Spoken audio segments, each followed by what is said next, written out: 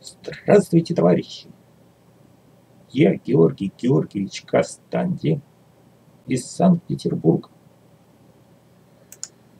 Цель моего участия в конкурсе – трудоустройство. Мое главное профессиональное достижение – защита кандидатской диссертации. Если вам понравилось это видео, ставьте лайки – Подписывайтесь на канал, оставляйте комментарии и делитесь, делитесь этим видео. Спасибо за внимание.